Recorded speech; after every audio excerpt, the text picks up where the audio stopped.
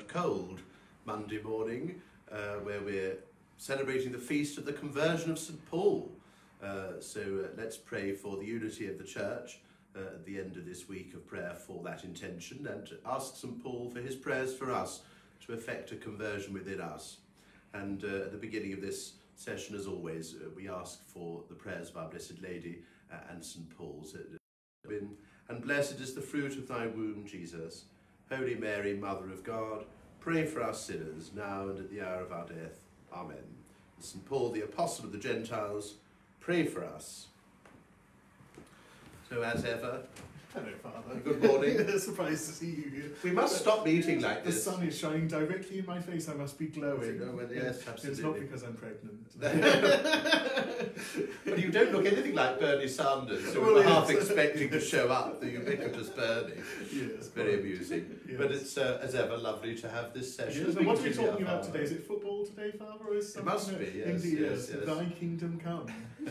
Thy kingdom come. Yes. Now, before we begin, Mm. we want to say a thank you to all of our loyal viewers who encourage us. Uh, Many send us messages, don't Yes, they? they And, do, uh, yes. and uh, you know, I don't know that we would ever say that we know what we're doing. We sit there, we just sort of uh, Yes, talk. Yes, and it's largely unscripted. We have a brief conversation before we come on, but what, what we talk about um, seems to, uh, you know, please people. Yes, we, we aim to please. But uh, we're glad if it edifies you, By the grace of and uh, by the grace of God, I think it's affected great things in people's souls, Mm. especially in this time, and it's rather difficult to. It's nice to invite you into our house, Mm. uh, and thank you for inviting us into yours too Yes. to um, you know discuss these things together realize that we never believe in a vacuum on our own Yes. but we believe as part of the church and perhaps our togetherness is something we're not always uh, Yes. aware of at the moment Indeed, it is an appropriate considering the Our Father. And when we spoke first, we spoke about the word "our," that we always, in a Yes. sense, pray together. We Yes. pray as the church, even when we pray alone, when we're in our room, as our Lord told us to pray in our hearts. We are still praying as part of the body of Christ. And in these discussions and conversations, maybe our minds can be raised up Yes. to the fact that we are united in the one faith, the sacraments, that's it and the one Lord. and those at home praying you are not on your own prayer you're with the whole church and we're praying for all of you those we know and love from around mm. here and those who join us from abroad. So you're all in our prayers, and many, many thanks for your support for us. Please pray for us and for vocations to this canonry. Absolutely. And if and if you want to join, please write to me. And uh, you know, and uh, let's pray for each other in these Mm. times. So Yes. carrying on sharing the faith. Yes, thy kingdom come. So I thought we might uh, start perhaps with a notion of how God's kingdom can be um, reached, or we can try to apply the principles of God's kingdom here on earth. We start from a principle that, of course, life in this world is never going to be perfect. No.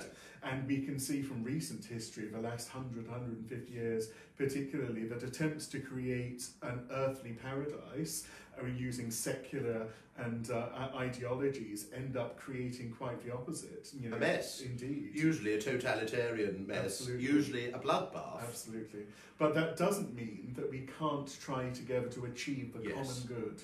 Yes. And that we must we have a commitment we read in St. Paul's letters to the Romans and elsewhere that the authorities of this world do have power, which Yes. when they're exercising properly, Yes. they exercise on behalf of God. Quite right. Yes. Yes. And so those ideologies of the you know Enlightenment and the period after that, which have proposed a kind of a strict separation between religion and the state, is just impossible for a Christian. Must eh, as religious people, we must want to. we- We're not religious simply because we believe it's good for us. we're going to stay in our own little corner. That's right, yes. We're not a tribe. no. No. But because we believe the principles of morality that God has given to us, including public worship and things like that, are good for everyone. For everybody. We can't force people to believe, and we don't intend to, No. or even try to. That would be ridiculous. But a state that acknowledges Christ as King is a properly ordered state. There we go. Absolutely. The social reign of Christ The the, social reign of Christ. Now, if you can only remember those words, the Yes. social reign of Christ the King,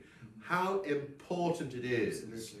Um, and if you are not, if you haven't heard that phrase before, don't worry, Mm. because you probably, be, well, you almost certainly believe in it already Yes. without uh, you using a, a fancy title. Mm. But the fact that Christ reigns over our society Yes. because we've not because we've elected him. you don't elect a king. Yeah. No, we don't elect a king. Yes. He was born for that. The Messiah is the anointed one, the king, uh, who has come to save us and show us the way to heaven. And therefore, you know, he represents that the kingdom of God coming down here upon the earth. As you say, when we try and create our own kingdoms, it usually always fails. However, Yes. earthly kingdoms and states and so on should try and mirror That's the right. Participate. Participate the in, yes. And it's got to do with the nature of law as well, you know, being a board Is it? canon lawyer. you know, I, I talk about this quite a lot, but and in fact, when I teach, you know, teach the novices here, I always talk uh, start by discussing the nature of law, and so if it exists first in the mind of God as eternal law, and then when it's revealed to us, it is divine law, written in our hearts, it's the natural law, and embodied in the laws of societies, including the society of the church, it becomes human law, and they should all line up. line up. Yes. And so the laws of the of, of the world, the human laws that um, the legislators and princes um, create, should line up with the divine law that's been revealed to us. Otherwise, mayhem ensues.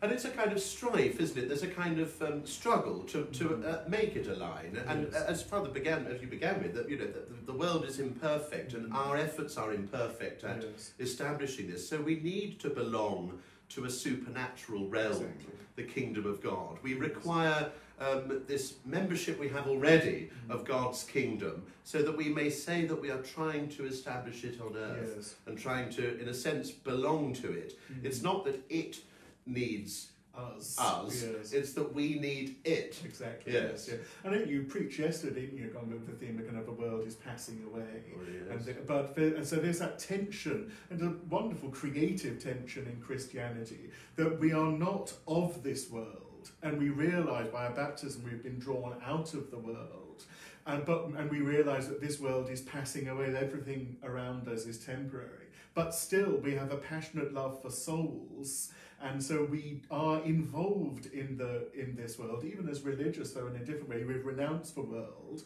but so that at least partly we can give, uh, we obviously firstly that we can give glory to God, but also so that we can save souls, whether through our prayer, through our apostolic work, or whatever. And so as Christians, we are involved in the world, and we want to um, bring Christ to it and it to Christ. Yes. Oh, that's wonderful. That was that was the motto of one of the schools I attended. Actually, was bringing Christ to all and all to Christ. It's rather lovely. The matter of my, school was Christus Vincit. Oh, brilliant! Well, we're we're, we're on theme then, Yeah. aren't we? Christus, Christ conquers. That's right. You know, and yes, Christus vincit, Christus regnat, Christus imperat. Christ conquers, Christ reigns, Yes. and Christ commands or rules. Yes, Yes. it's wonderful, isn't it? We sing that after benediction quite a lot yes, to to proclaim the kingdom of Christ. Yes. I, it actually reminds me, speaking of music for a little bit, Mm. it reminds me of the Hallelujah chorus Mm. by Handel, you know, in the middle of the Messiah. There's the famous Hallelujah chorus where Mm-hmm. allegedly the king stood up when he first heard it. So a lot of people stand to sing Hallelujah. And there's that lovely bit, you know, in the middle of it, because it goes, you know, that for the Lord God omnipotent reigneth. Hallelujah. And then there's the quiet bit. Mm. For the kingdom of this world is to become the kingdom of our God and of his Christ Mm. and he shall reign forever and ever. Hallelujah, hallelujah. Now that's marvellous. That the, the quiet bit in the middle is a reminder that the kingdom of this world, which is passing Yes. away, is claim is to be claimed for. Christ, and that the kingdom of, of God, um, we are. It is to become, in a sense, the Mm. kingdom of God and of His Christ, which will only ultimately happen at the end of time Mm. when Christ comes again in glory to judge the living and the dead, and His kingdom will have no end. We say. But you know, until then, we're, we're trying to establish and build the kingdom of God. Seek it, I think, and build it. Um, Christ says, "Seek ye first the kingdom of God, and all these other things will, you know, Yeah. have, be added unto you."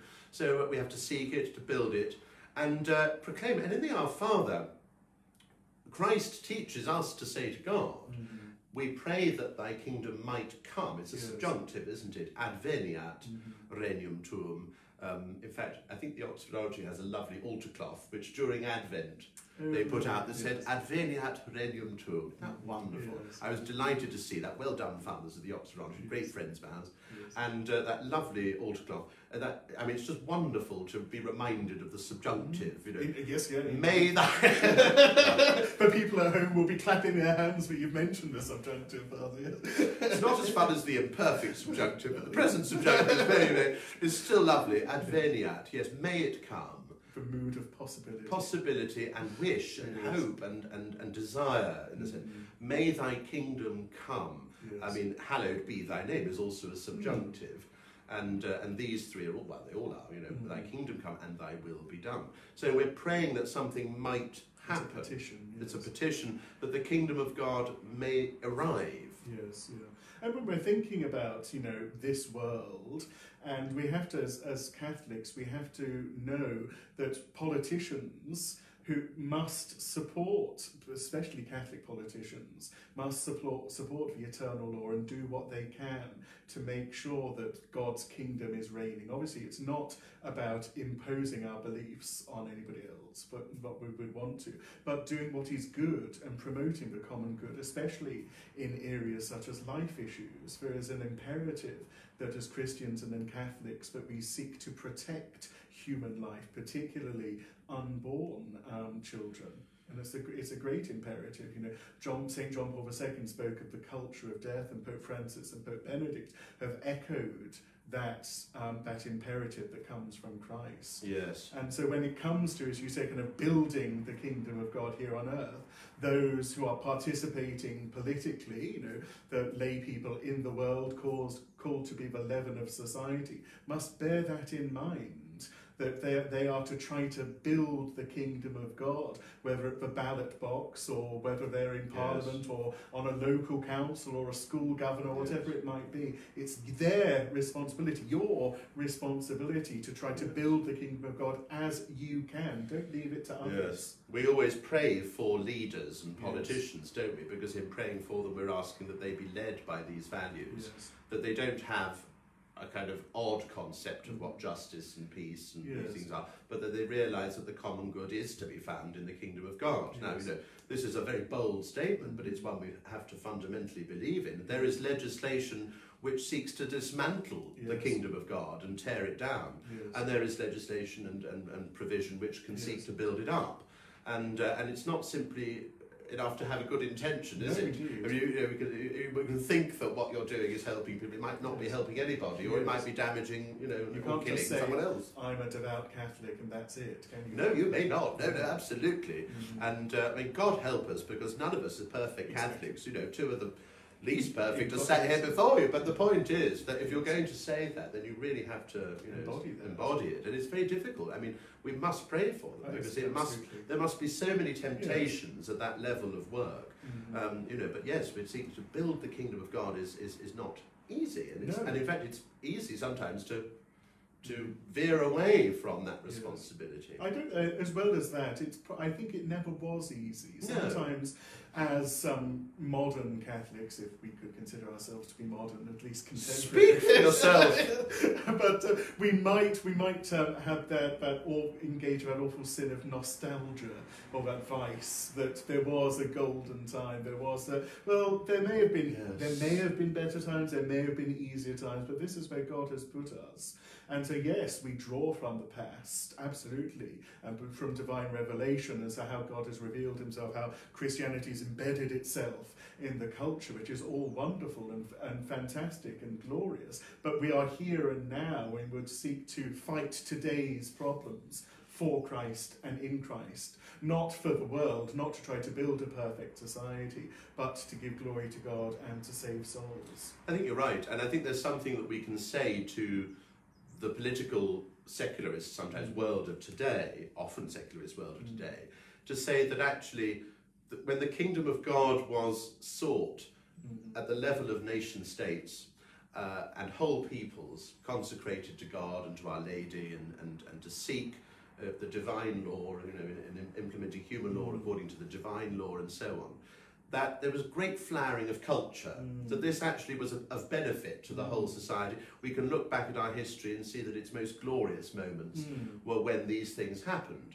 However, even those times had Yes. had their disadvantages Mhm. and uh, you know had elements within them which were not of the kingdom of God, Yes. just as our own society too.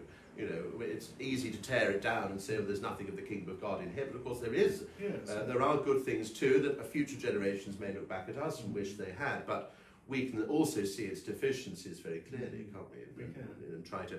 But of course, you know, the, the greatest flowerings of human culture, of in terms of peace, prosperity, happiness, and the common good, have been when the church, you know, and the state are in harmony, and the law of God is respected. I mean, that's it's quite obvious, isn't Yeah, it? And of course, the greatest of our arts and our sciences and our letters have been those flourishings uh, of the divine. Yes, and you find there are some contemporary thinkers, even non-Christians, who are starting to wonder whether modern society with such things as human rights, which are a product of Catholic social teaching, and things can exist in a society without a Christian basis. Is modern society with that is that just a veneer?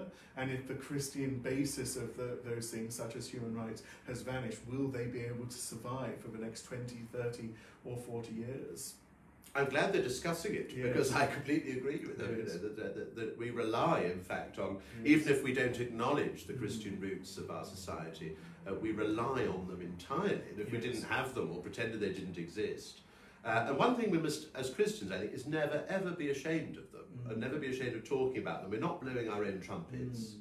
It's simply by the grace of God and His mercy Mm. that we were able to, you know, write these things down and, and, Yes. and, and make our little attempts at, at, at, at how statecraft should, Yes. you know, should function.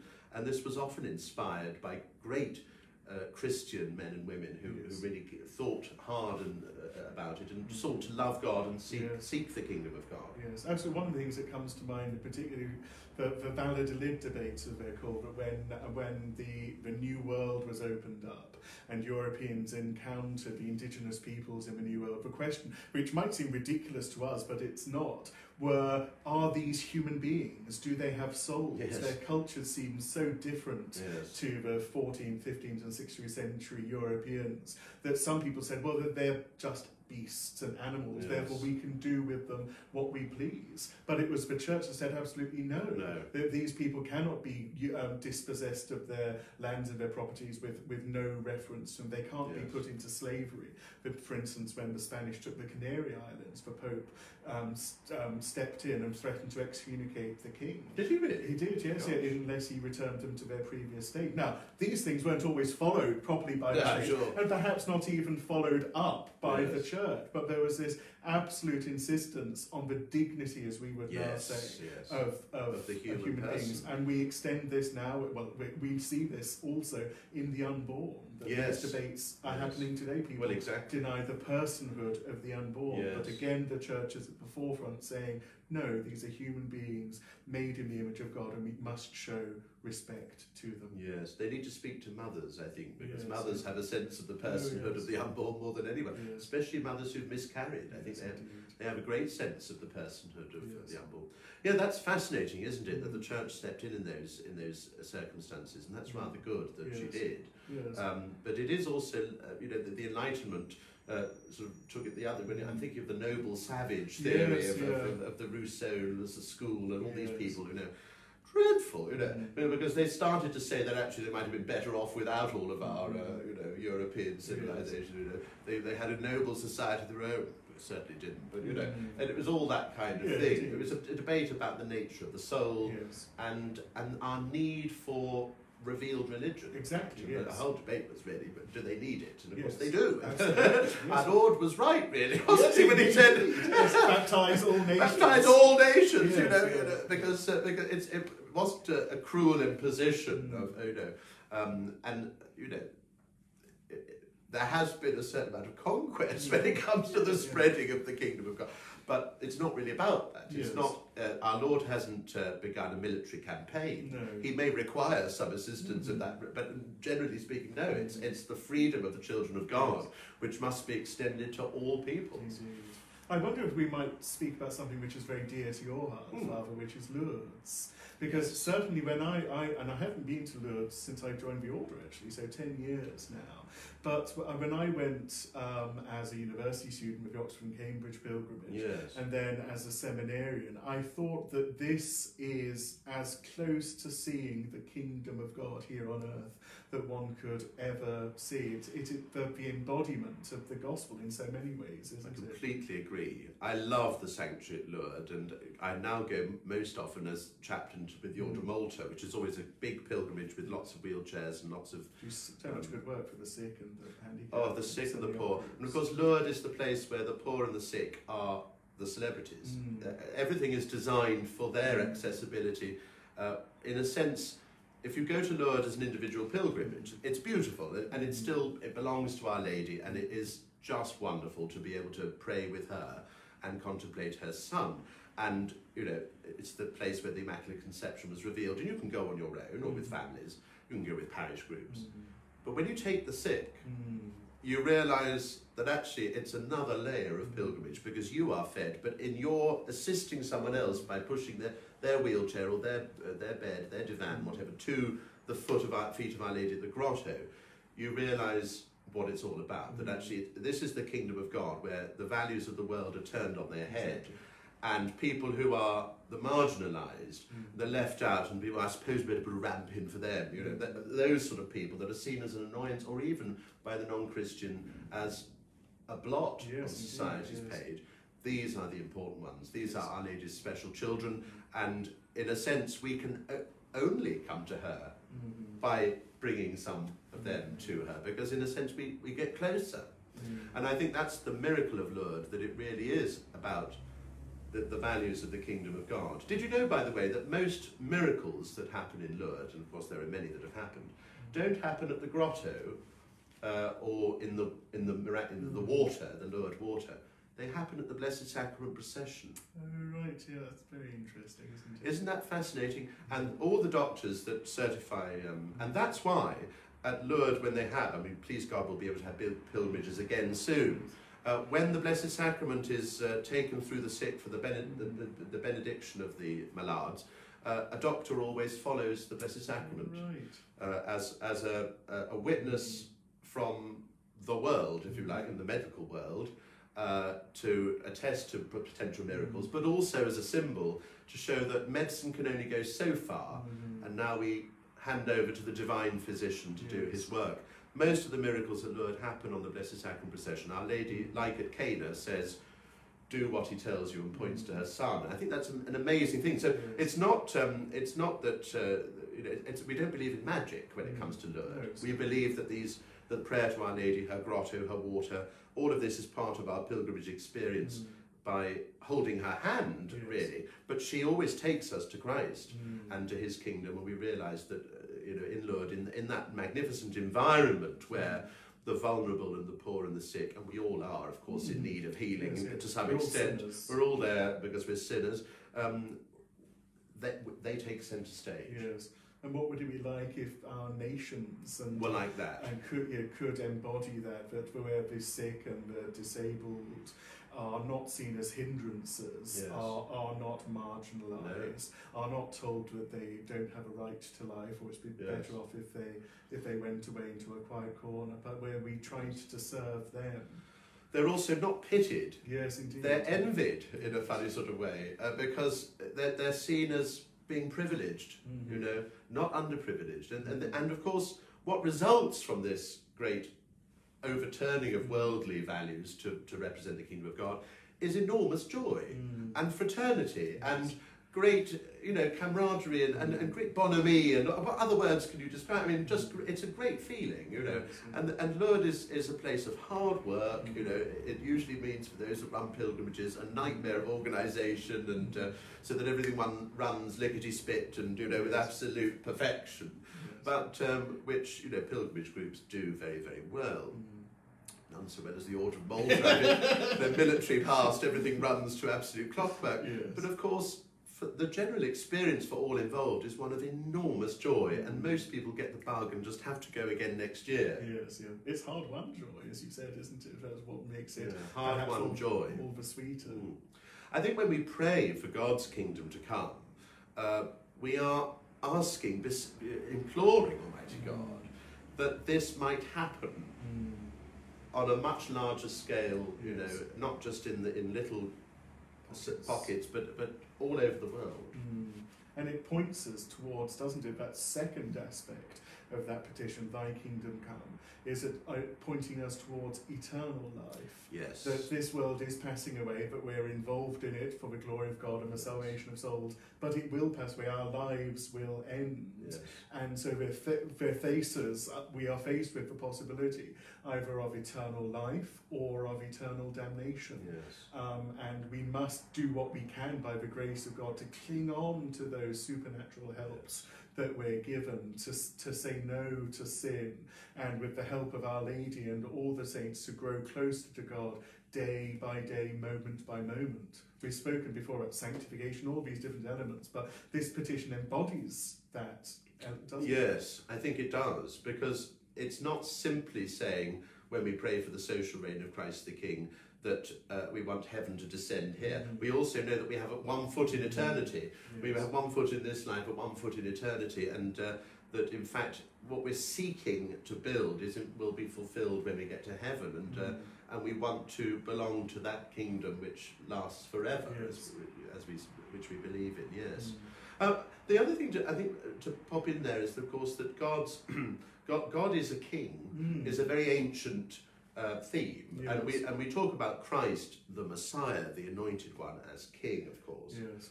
But the Bible, the Old Testament, was full of references to say God is King with Mhm. majesty and robed. You know, yeah. the Lord sits enthroned over the flood, and all these wonderful phrases. We see Israel didn't have a king to start with because No. God was their king. They have they were ruled God by was their judges, king. a kind of oligarchy rather than by a king. But they wanted a king in imitation to the nations. They wouldn't they couldn't see or accept the kingship Yes. of God over their their Yes. nation.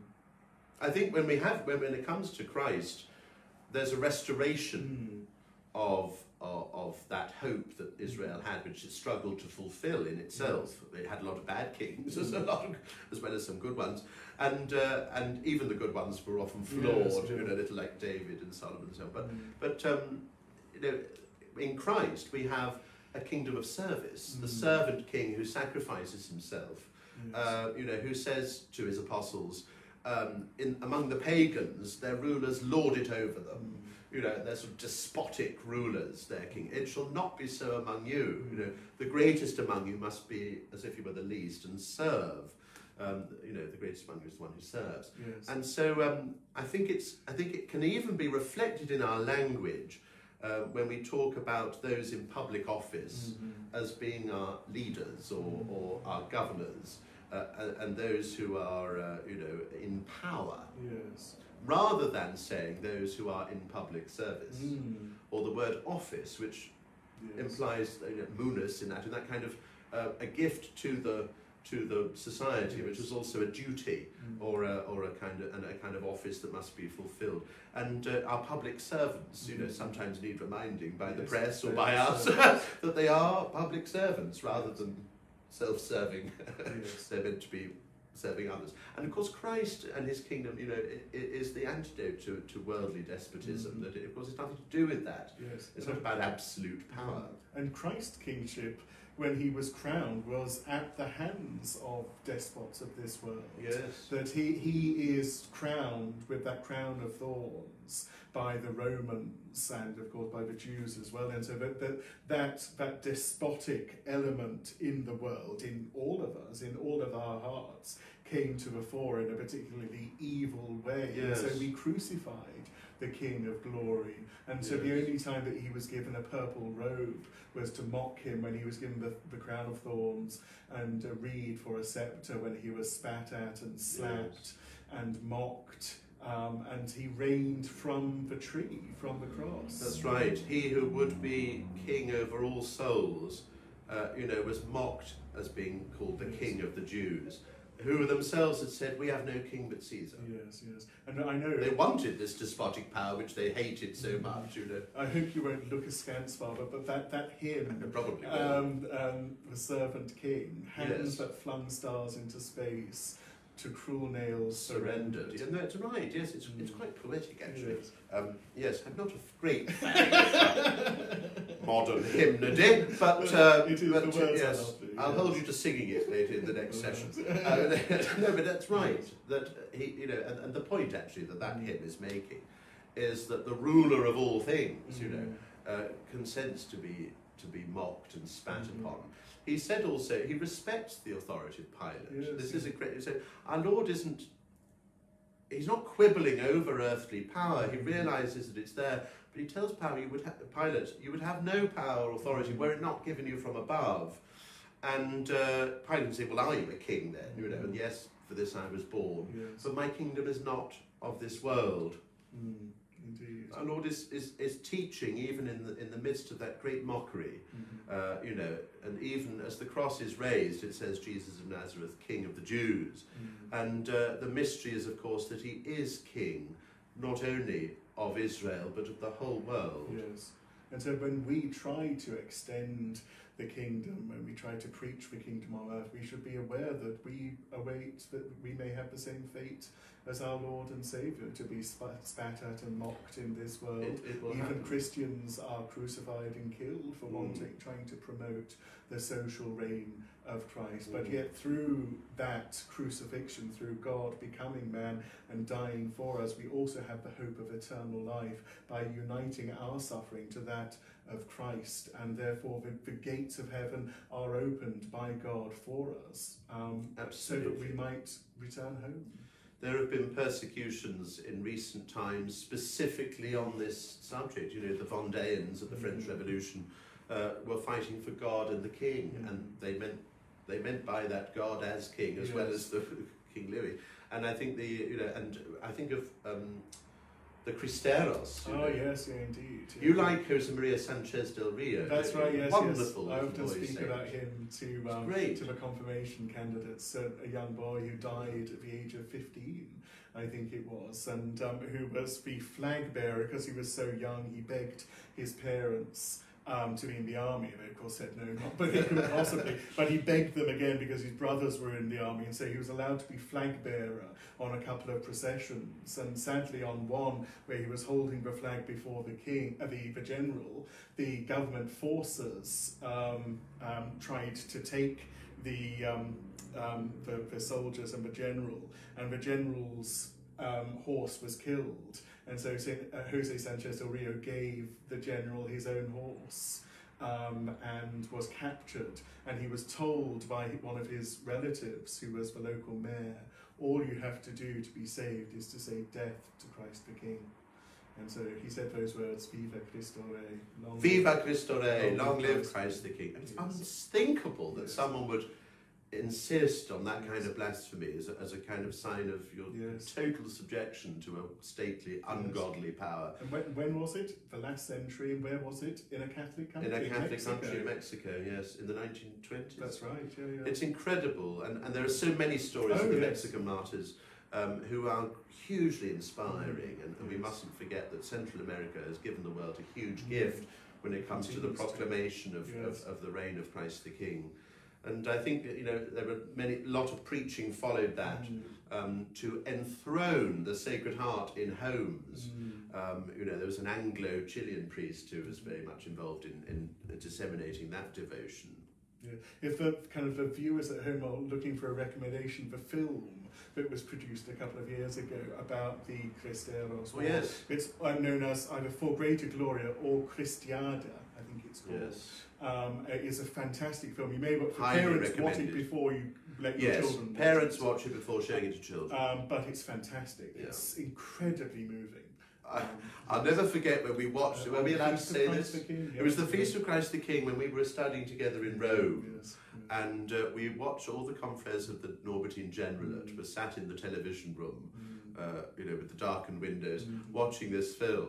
mhm, And it ended, Yes. and the credits were rolling. yes. And we just sat in silence, Oh, and yes. there was sobbing. Yes. And, it, and we were all kind of dabbing our, I couldn't believe how moving it was. yes. And I think we couldn't speak. no, indeed. We were just completely dumbfounded. It's an incredible Yes. story, very Yes. powerfully portrayed. Yes.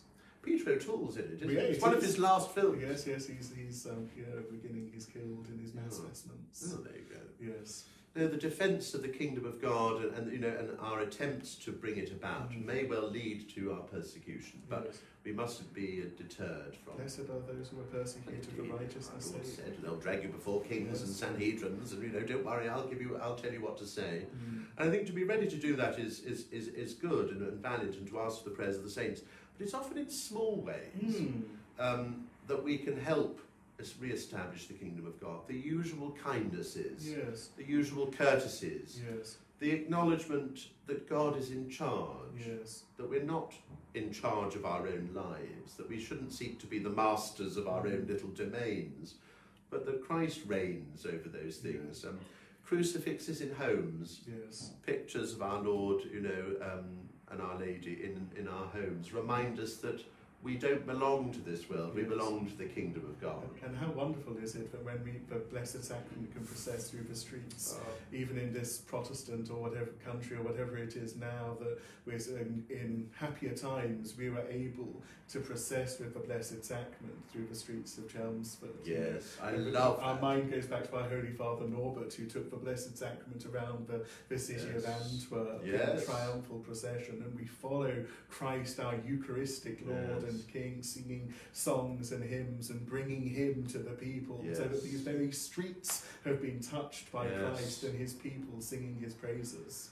Well, you know, it's important that we feel that Christ has walked our streets, Yes. you know, that he has been here before us, mm. and so we, we must take him for a walk, as it were. Mm. But we also realise that he, it's, it's to introduce his people to him, a but him to his people, Yes, to make that royal progress yes, through the streets, uh, so that he can bless them.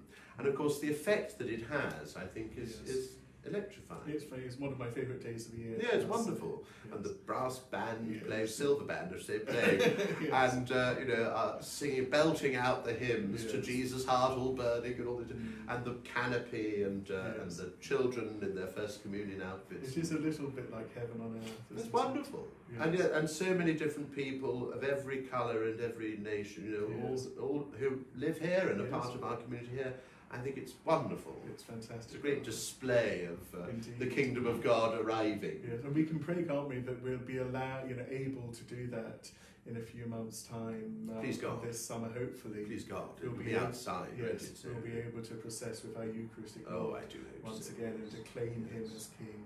Well, you know, like at Lourdes, we need him, Yes. especially in times of sickness Mm. and in times of, you know, people fear disease running the streets, Mm. and we want to get Christ on the streets Yes. where, you know, no contagion can possibly come, where our blessed Lord is there, you Mm. know, the great divine healer. Yes. So uh, we, that's absolutely what we need, and uh, you know, we've been so edified, haven't we, by those who've come to adore the Blessed Sacrament In this time of in this time. yes. You know, we had uh, the day of um, exposition, didn't we? We did. Was it before Christmas or? It was uh, before uh, New Christmas. Year's Eve. That's right. it? Yes. Yeah. And uh, to pray for Yes. you know an end to the sorrows of 2020 and, a, and a brighter 2021. Well, it is brighter. It is. It is. I can hardly see you. Some benefits. it's certainly brighter, but we should pray that our Lord continues to uh, remove the plague from Yes. us. But uh, at the same time, it was a, an edifying moment, and of course, we've had. Uh, uh, exposition Blessed Mhm. Sacrament and for those at home unable to come you know we're we are bringing your intentions there And unite And, yourselves. uh, yes, absolutely. And take yourselves to the tabernacle in a mystical sense, and in, in moments of trials, say, Lord, I want to seek your kingdom. Mm. Remind me that I don't belong to This world. this world, I belong Yes. to your kingdom. Yes. And, and may it come among us, may it, Yes. May it be part of our reality, Mm. because you know our reality is just a copy of what reality really is, which is the kingdom of God. That's right. And speaking of those gloriously reigning, Hmm? Father, we wanted to. So next week, Father Abbot is going to be joining I us. thought you were going to say that an invitation had been issued to uh, to Windsor for Her Majesty's uh, attendance. No, yes, yeah, Father Abbot is going to join us Yes. next week Thy will be on done. Thy Will Be Done. Yes. So we'll have to make sure that we have a you know a suitable yes, arrangement. Yes. and, and arrangement for him, and uh, so that's marvellous. So viewers, we can all look forward to Father Abbot joining us.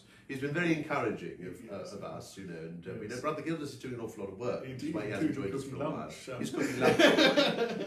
if there were ever a service to the kingdom of God which required, uh, yes. you know, honours and decorations, it is that service of feeding the foot Yes. soldiers, uh, yes. which must be done. Uh, as you can see, we're starving, and uh, so uh, so he's Yes. working hard. But Father Abbot will be with us next week, Yes. and uh, you know he's very encouraging, as, Mm. as are so many of our viewers. So thank you for that. Yes. And uh, we, we, we, we, well, we ask God's blessing upon them all. don't we? Exactly. Shall we finish with prayer, Father? I think we ought to. Yes. We are Christians, aren't we? We, we do believe in all this. So good. Let's uh, let's say the Lord's Prayer again together and and uh, remind ourselves as we say it that we belong to Almighty God and that this world belongs to Him, and we pray that His kingdom will come. But we include in our intercessions all those that desperately need um, a message of hope at this time. All of those who feel despair because all they can see around them is the kingdom of this world. And we pray that God will reveal his kingdom to them, perhaps through our efforts. May Almighty God make us worthy of serving his kingdom. Our Father, who art in heaven, hallowed be thy name. Thy kingdom come, thy will be done, on earth as it is in heaven. Give us this day our daily bread, and forgive us our trespasses, as we forgive those who trespass against us. And lead us not into temptation, but deliver us from evil. Amen. And may the souls of the faithful departed, through the mercy of God, rest in peace. Amen.